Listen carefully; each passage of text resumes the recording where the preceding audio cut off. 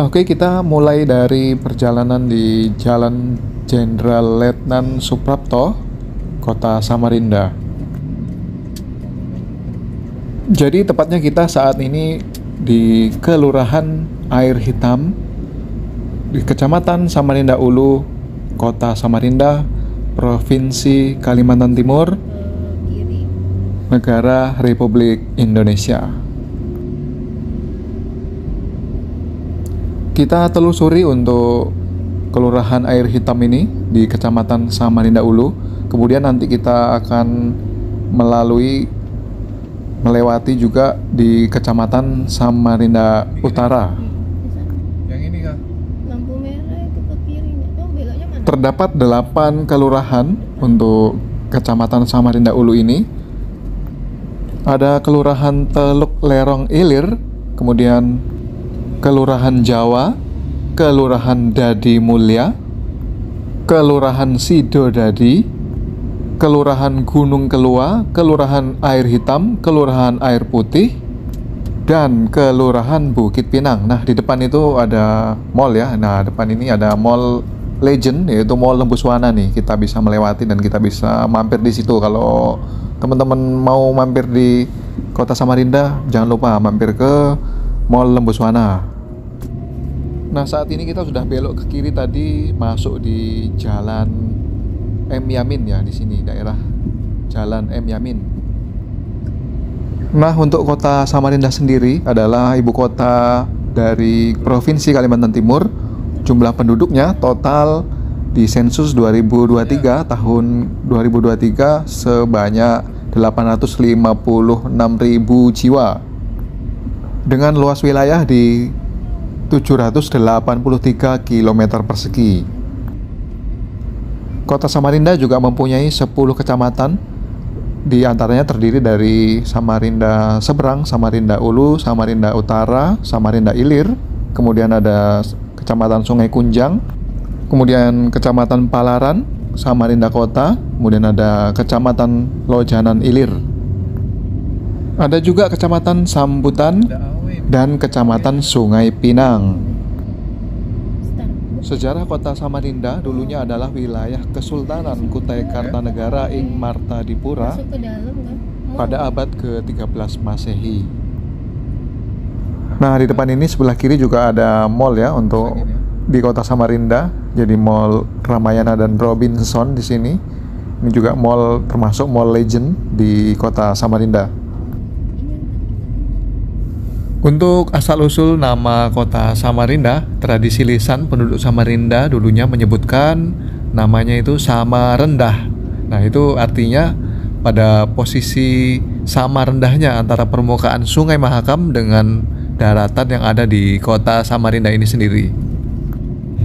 Jadi ya dulunya kota Samarinda pada bagian tepian di Sungai Mahakam kalau lagi keadaan air naik ya atau setiap airnya pasang sungainya nah ka- kawasan tepian kota Samarinda itu selalu tenggelam selanjutnya dilakukan bertahap untuk pengurukan atau penimbunan pada tepian Mahakam agar terhindar dari banjir atau tenggelam dari efek pasang surutnya dari sungai Mahakam itu sendiri.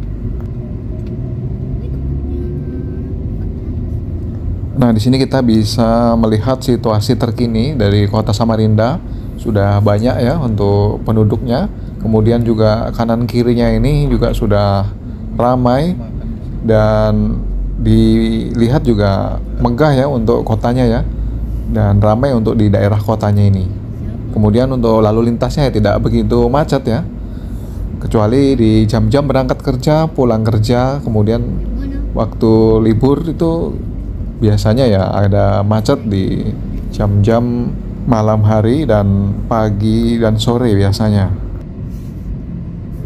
Di Samarinda ini juga terdapat berbagai macam universitas untuk perguruan tinggi negeri ya. Jadi di daerah sini juga terdapat Universitas Mula Warman namanya. Di sebelah kanan jalan ini ada jalan masuk tadi sebelumnya di pintu masuknya. Namun kita bisa masuk lewat pintu mana saja di sebelah sini bisa juga kita untuk melewati jalan-jalan kecil yang di sebelah kanan ini untuk menuju ke. Universitas Mula Warman. Soalnya Universitas Mula Warman begitu luas juga untuk wilayahnya, jadi kita bisa memasuki universitas tersebut melalui pintu mana saja.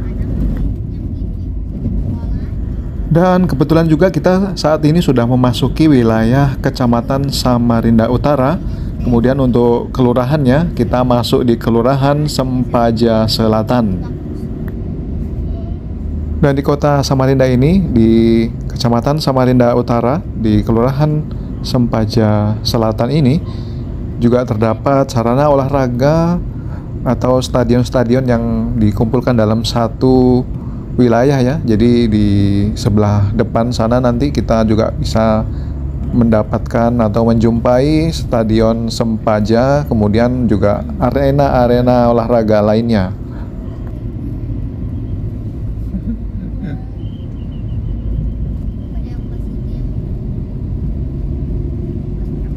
juga dia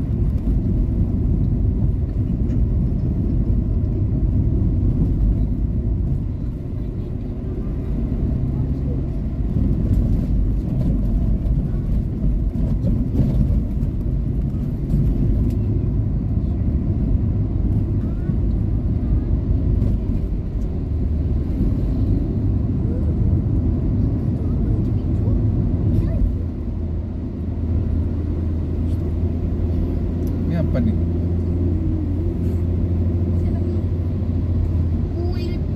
konvensional hall Ini ke Hah?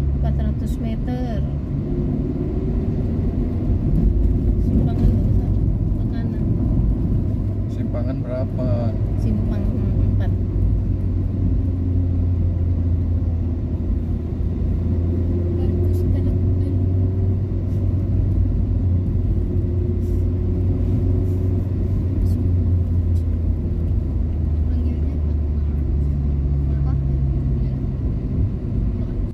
Nah, itu tadi kita sudah melewati dari Kecamatan Samarinda Utara, kemudian juga masuk di Kecamatan Samarinda Ilir.